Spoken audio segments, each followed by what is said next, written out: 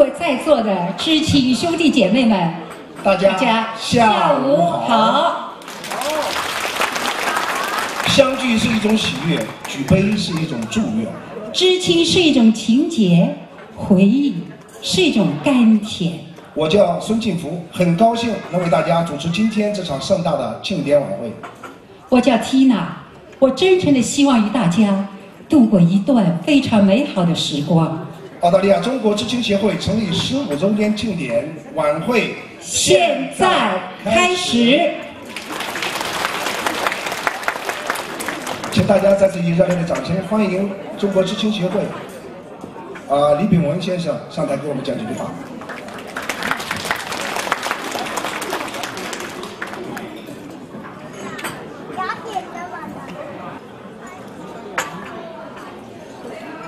各位，大家晚上好。今天是我们澳大利亚知青协会成立十五周年的庆典晚会。首先，我感谢大家在百忙之中抽空前来参与我们的这次联欢活动。我代表知青会向各位远道而来的朋友表示深深的谢意。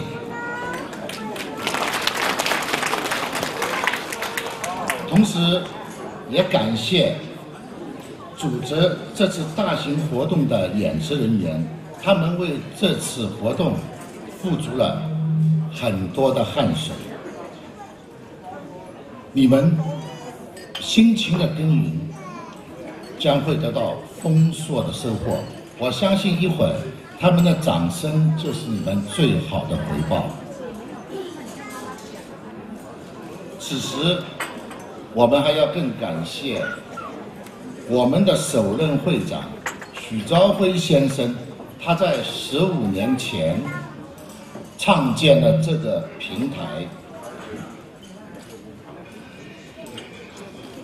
我们基金会这十五年来，他呕心沥血，是我们基金会今天的灵魂人物和不可不可或缺的。我们给许兆辉唱会会长给点掌声，他。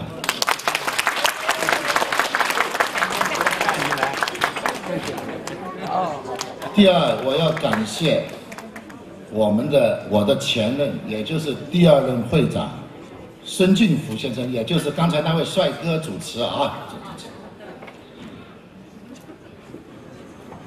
他辛勤的在资金会长的这个位置上耕耘了六年。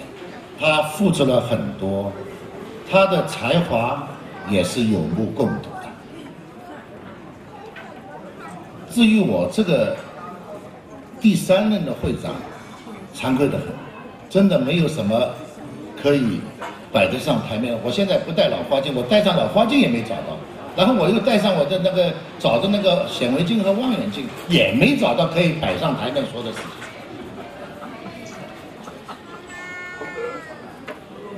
那么在这三年当中呢，但是我今天说什么呢？在三年当中呢，我们的会呢有不少新会员加入。这新会员呢和我们有些不同，因为我们在唱会十五周年来的时候呢，都是我们在这里打拼了十年，到现在已经是在二十五年以上的这些老知青。那么呢，他们呢是新移民。是随着子女而过来的。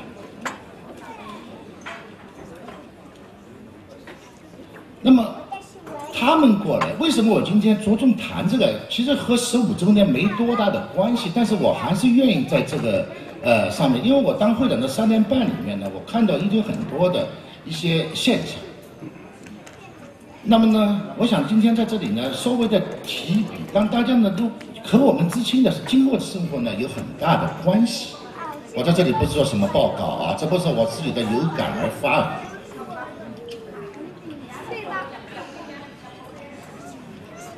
而且今天的发言还特特别，我的发言只发言前半段，后半段由我们的知青二代发挥。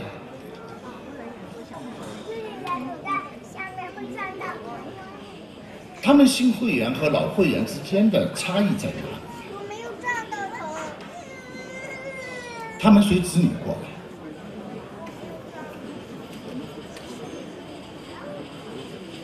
他们的子女一个一个都非常出色，留在这里，他们都事业有成。但是你们想过，这些知青二代，你们想过没有？当你们，当你们的父母在你们这个岁数的时候，他们和你们过着截然不同的日子。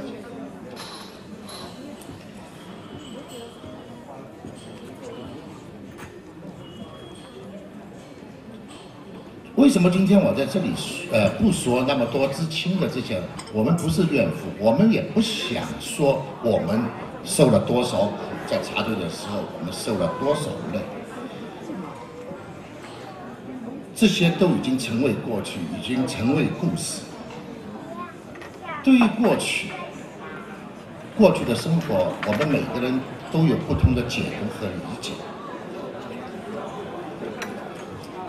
他的认知决定了他的人生。我们不会纠缠在过去的这些不幸或者辉煌上。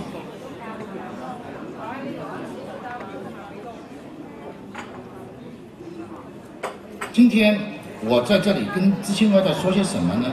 简单的说，父辈在你们这个年年龄，或者是要比你们这个年龄要年轻的多得多的时候。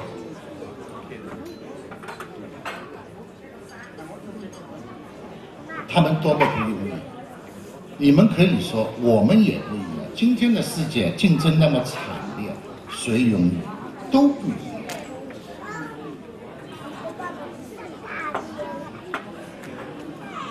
知青二代们，你们知道吗？当父母把你们从祖国送到澳洲这个土地上的时候，他们至少要给你们准备一年的生活。我做了大量的了解。他们很不容易。他们，我在这里，我看了我会里面的这些新会员，就是这，好像没看见，发现有贪官，就是有贪官，他也要冒着坐坐牢、杀头的危险，把你们送到这里来念书。为什么？他希望你们过得更好。今天你们事业有成。是你们回报家庭、回报父母养育之恩的时候。我说的这一个绝非危言耸听，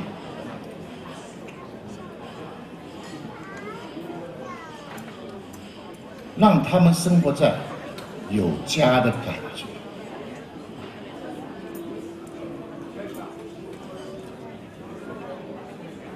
我每次回来。我到了市里，我都会叫一声“回家了”，到家了，感觉真好。为什么？因为我跟了很多我们的新知青会员在交流的时候，他们呢，好像有时候呢，觉得没有被家这个在这里家的感觉，他们觉得家还是在中国。这就是代沟和国沟。什么叫国沟呢？就是国与国之间的沟。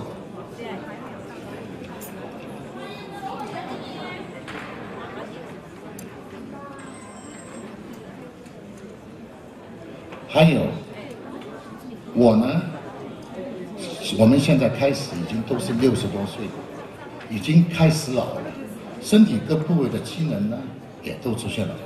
请你们多一点耐心，多一点包容和理解。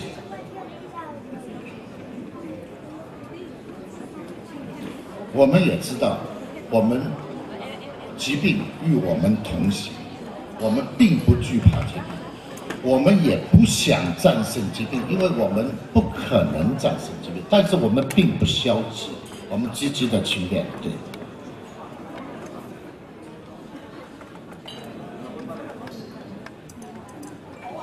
对你们年轻人来说，你们努力，你们的明天会更好。对我们这些老年人来说，我们努力的明天对我们未必更美好，但是我们会过好每一天。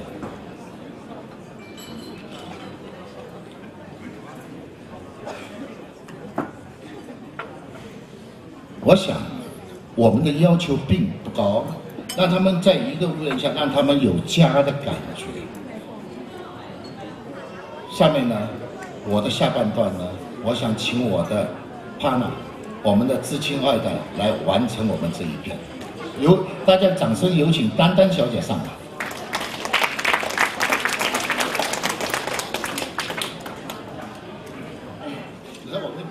OK，没问题，没问题。我胆子还蛮大的，我没有稿子，但是我在脑子里有想过。今天能够站在这边，非常非常的荣幸。啊、我能够在这边说话，不是因为我为知青协会做出任何的贡献，其实我没有做出任何贡献。我想能够站在这里，主要的原因是因为我有一个比较典型的背景。我的爸爸是一个在北京长大的广东人，我的妈妈呢是一个在上海长大的无锡人，而他们却在东北相识相知，最终有了我，然后又带着我去了不同的城市，所以所有的这些曲折，都是因为我们曾经有一段特殊的历史，知识青年上山下乡，而我就是一个 typical 的知青子女。如果没有知青，就没有我站在这里，让打扰大家这几分钟。所谓知青，老实说，在我二十岁之前，我是没有概念的。大部分时候就是听我爸爸说，啊，东北啊，就是棒打狍子瓢舀鱼，野鸡飞到饭锅里。我妈说的东北呢，大部分时候就是在雪地里刨上一杯雪，撒上点糖，你就有冰棍吃了。很多东西都非常美好。一直到我二十岁的时候，他们带我去东北参加知青的二十周年纪念，那是一个真真正正纪念他们青春的地方。我也头一次看到了我爸爸自己亲手盖的拉河边儿盖的房子，实在话，质量真的很差，一点火就会到处冒烟。然后我妈妈曾经伐树的照片里面，冬天穿得像个狗熊，夏天就像背着一个蚊帐到处走，因为那儿的蚊子实在是太毒了。我才刚刚有了基本的印象，原来他们的青春并不那么容易。后来我出国了，我头一次真正当上了移一代、移民一代。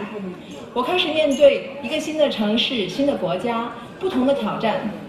这时候再慢慢想想，我父母在我这个年龄，甚至更小一点的年龄，他们所经历的挑战远比我的要大得多。知青知青，所谓知识青年，本来应该是在那一个年代里最有知识的一代，可是他们却在应该学知识的时候，从大城市分配到不同的偏远的地方。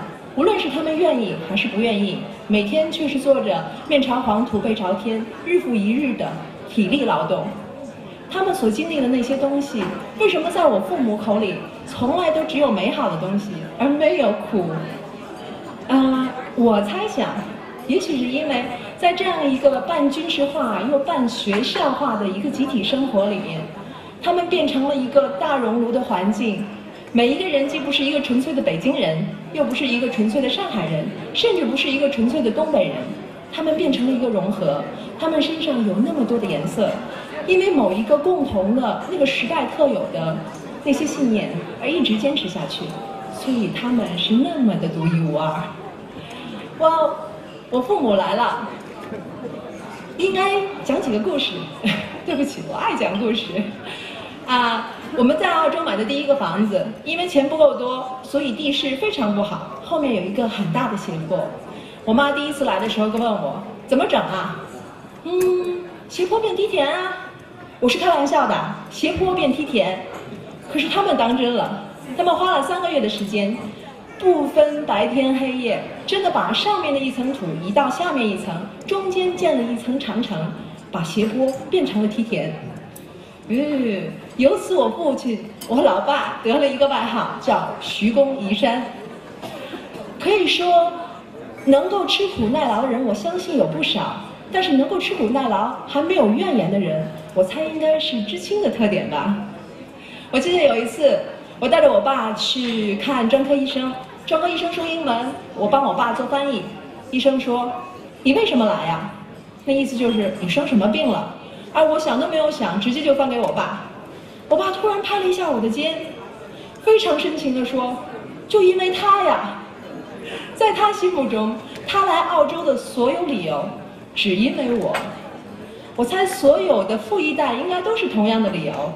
为什么来这里？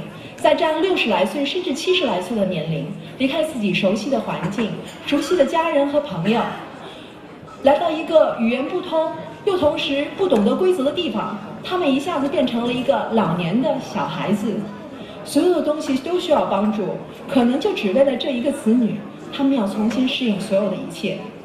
我记得我带着他们去美国旅行的时候，有一个美国船长跟我说：“你父母应该很以你为豪，你能带着他们出国旅游。”我说实在话，自豪的不是他们，是我，因为在这个年龄，他们能够生活到一个新的环境，并且投入到其中，享乐于其中，还好好的感受到自己的生活，这不是我应该觉得自豪的地方吗？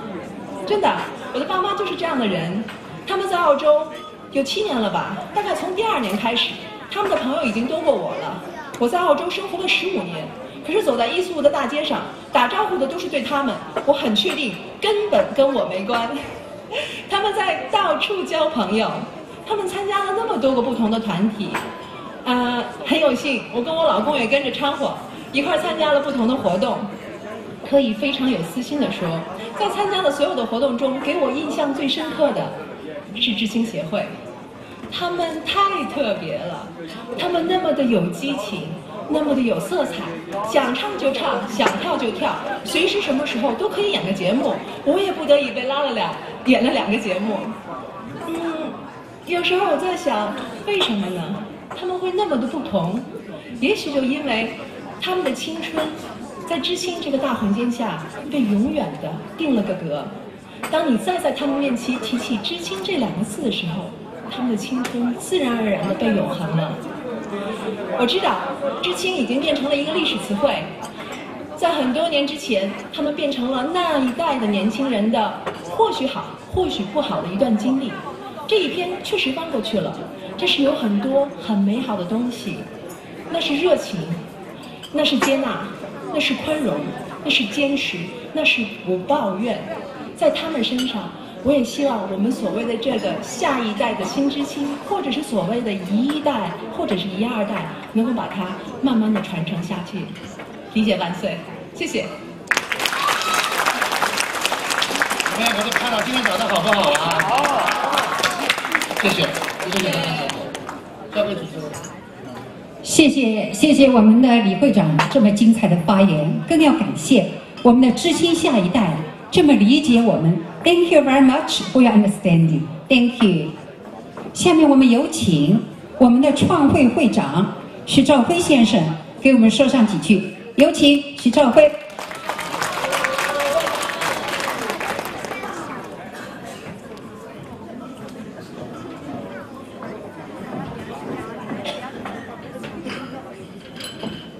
各位嘉宾，各位知青知青兄弟姐妹，大家好。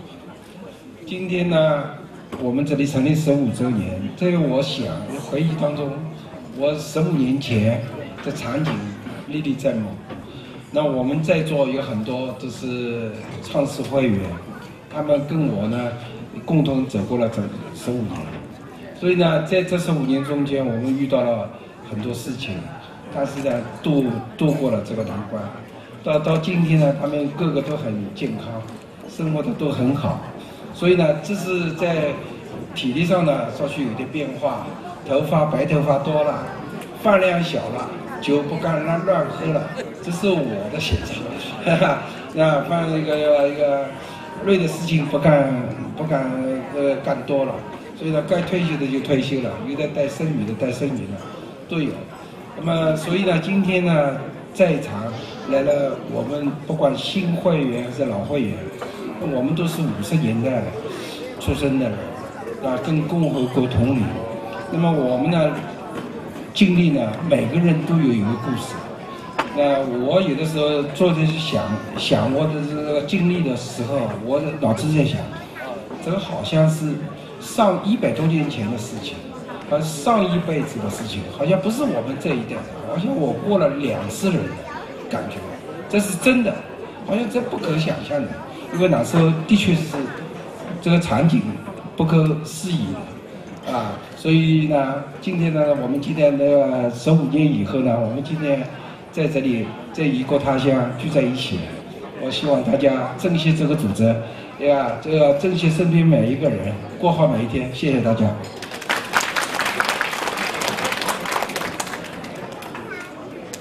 谢谢许会长。下面我们有请我们的上任会长孙敬福先生给我们说上几句。有请孙敬福。啊，我就不耽误大家时间了啊！这个各位嘉宾、各位朋友。呃，大家已经等了很久了。关于这个发言呢，刚才会长和这个前任会长已经讲了很多了。十五，澳大利亚知青协会走了十五年的历程，这十五年里面，与所有的知青会员的这个相互团结协作有了很大的关系。那么我在这里面由衷的感谢，呃，广大知青会员们，这个同心同德、同心同力，把知青会发扬光大，我们走到了今天。那么。啊，还要说的就是我们知青会这十周年的时候已经做了庆典，这是十五年，而我们的年龄现在已经是快要到六十了。我希望下面还能够见到你们在下一个十年和十五年。祝愿大家身体健康，谢谢。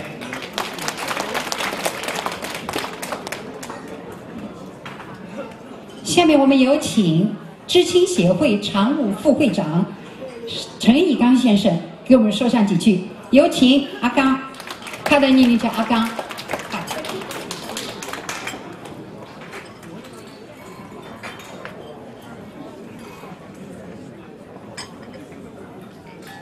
呃，知青会会员们，还有那个来宾朋友们，大家晚上好。今天，呃，我我作为一个咨询会会员啊，借此机会我非常呢由衷的感谢我们的许朝辉。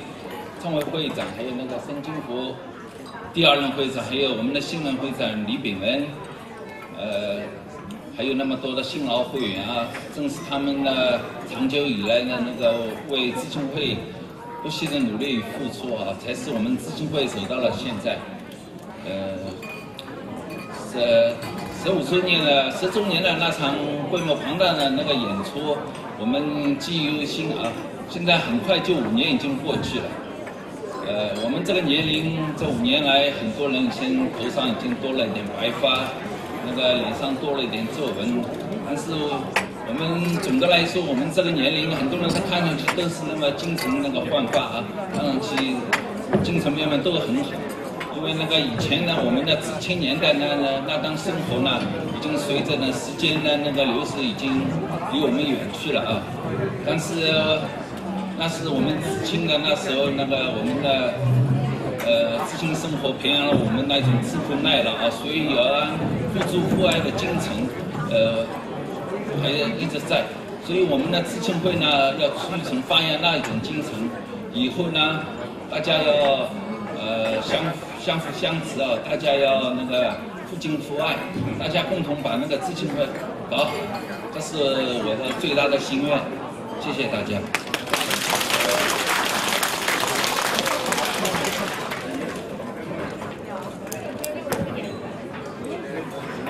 下面我们先拍一张照，请所有的领导和今天上台的演员，请你们上台，我们先照个相，然后我们的节目就要开始了。谢谢大家的聆听。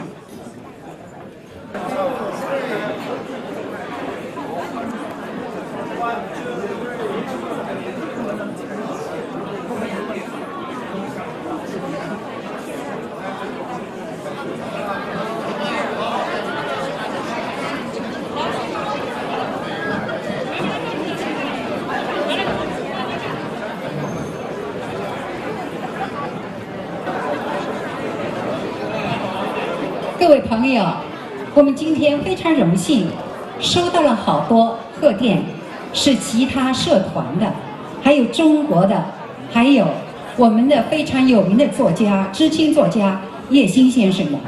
我先读一下北京之声合唱团张团长的贺电。知青协会的李会长、李会长、呃创会会长、各界人士代表、知青协会和北京之声合唱团的兄弟姐妹们，大家下午好！热烈庆祝悉尼知青协会成立十五周年。知青协会在会长和知青同仁的努力下，在悉尼华人和各界人士中是非常有影响力的组织。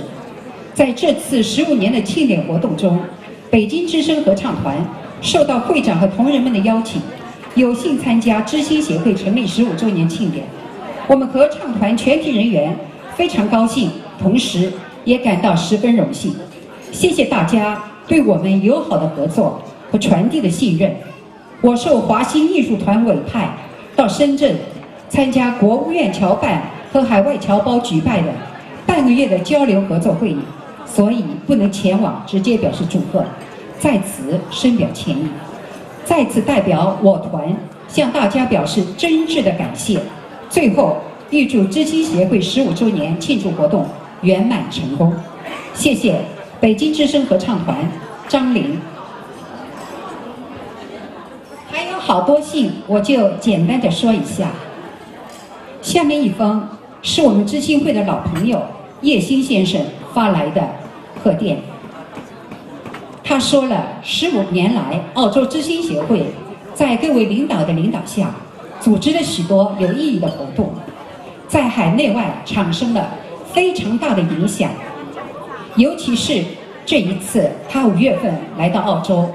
出版了《孽债》的英文版，在首首发式上，很多知青亲临现场出席会议，令他感到吃惊，而且还有很多当地的，他说的是，呃，老外，we we know that Aussie，他们都来了，他感到非常的感动，衷心的祝贺澳洲知青协会长青长青，美丽美丽。